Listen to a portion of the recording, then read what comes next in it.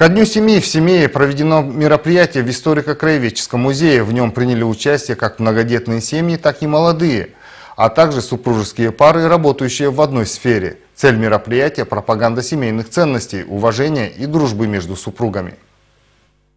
Родина начинается с семьи. Семья – опора нации. Все больше, особенно в последнее время, уделяется внимание укреплению института брака и семьи, нравственности и духовности в обществе.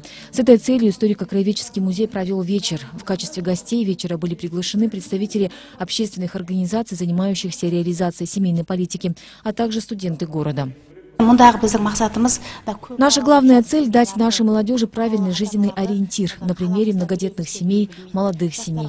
Это большой воспитательный момент для подрастающего поколения, потому что сохранение традиций и крепких семейных уз – залог здорового будущего государства.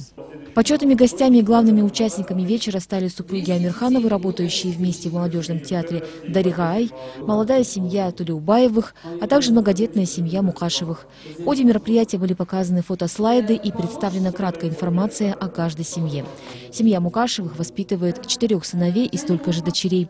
Самому старшему ребенку большого семейства 21 год, самому младшему 11 месяцев. Главное в семье – это уважение и любовь членов семьи, говорит Оксана Мукашева.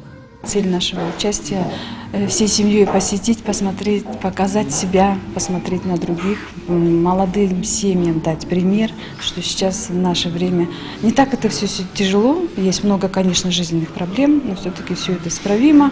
Э, не в этом суть. Сидеть, участвовать в разных мероприятиях, спортивных секциях, ездить на соревнования. Стараемся участвовать во всех мероприятиях ходе вечера гости задавали участникам различные вопросы, обменивались мнениями и опытом. Члены приглашенных семей исполнили песни. От имени коллектива музея семьям, принявшим участие в мероприятии, были вручены ценные подарки.